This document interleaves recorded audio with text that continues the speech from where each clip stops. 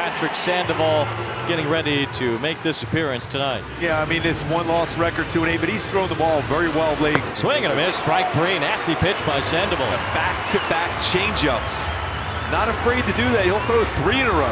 Swing and a miss, strike three. Another good changeup from Sandoval. Swing and a miss, strike three. There's the sweeper that Sandoval has fallen for. Swing and a miss, strike three. Patrick Sandoval strikes out the side in the second.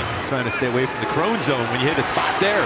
Strike three called. There's strike three called. 97 on the black of the outside corner. Swing and a miss. Tatis fans on the fastball. Real good view of Patrick Sandoval, the way he was delivering the baseball, the stride towards the plate.